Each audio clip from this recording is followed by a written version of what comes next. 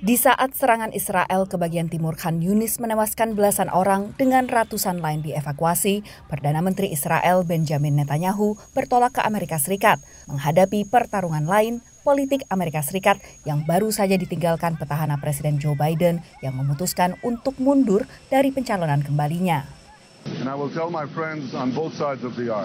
That regardless who the American people choose as their next president, Israel remains America's uh, indispensable and strong ally in the Middle East. Itu yang ia sampaikan ke publik. Tapi menurut analis, dalam kontestasi perebutan gedung putih antara wakil presiden Kamala Harris dan mantan presiden Donald Trump, Netanyahu lebih mendukung calon dari Partai Republik. The Republicans are more supportive of Israel's security agenda, and that would be true whoever was in power in Israel. Um, but the second thing is they're more forgiving of um, Israel's right wing government and its policies towards the Palestinians. Netanyahu dilaporkan meminta pertemuan dengan Donald Trump yang pada masa jabatan yang lalu meluncurkan kebijakan pro-Israel yang signifikan. Semasa menjabat, Donald Trump jadi perantara kesepakatan Abraham atau Abraham Accord yang menormalisasi hubungan diplomatik Israel dengan Uni Emirat Arab dan Bahrain. Ia juga memindahkan kedutaan besar Amerika Serikat dari Tel Aviv ke Yerusalem yang disengketakan kedua pihak yang bertikai serta mengakui aneksasi Israel atas dataran tinggi Golan. Analis lain menilai ada kemungkinan Harris tak akan memberikan dukungan penuh ke Israel seperti yang diinginkan Netanyahu.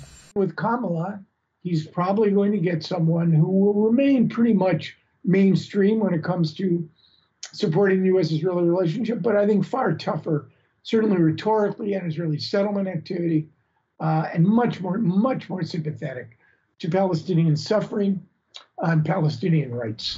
Tujuan utama Netanyahu ke Washington adalah untuk mengantisipasi pemerintahan Amerika selanjutnya, terutama di saat Knesset, parlemen Israel, memasuki masa reses tiga bulan yang diyakini bisa jadi kesempatan strategis baginya. There may be a political timing that will enable Netanyahu to make a move once the Knesset is in recess without having that lead to immediate coalition breakdown, because that could not be done until the Knesset comes back to operation. Di masa reses itu, Netanyahu berpotensi melawan faksi sayap kanan dalam koalisinya dan mencapai kesepakatan gencatan senjata dengan Hamas setelah hampir sembilan bulan berperang. Pekan lalu, Menlu AS optimistis kesepakatan tersebut akan tercapai. I believe we're inside the 10-yard line and driving toward the goal line and getting an agreement that would produce a ceasefire, get the hostages home, and put us on a better track to trying to build lasting peace and stability.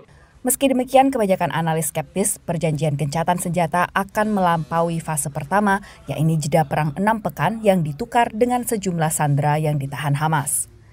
Dari Washington DC, Virginia Gunawan dan tim VOA.